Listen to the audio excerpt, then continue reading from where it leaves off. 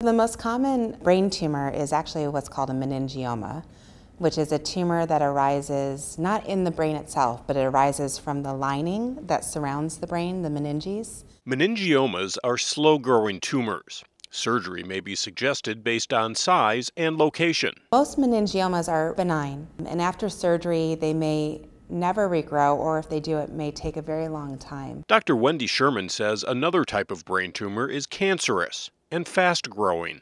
Glioblastoma is the most common type of malignant tumor in the brain. After diagnosis, treatment usually starts with surgery.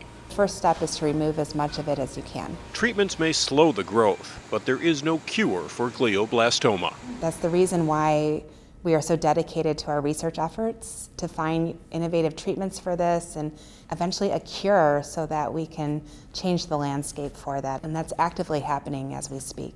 For the Mayo Clinic News Network, I'm Joel Streed.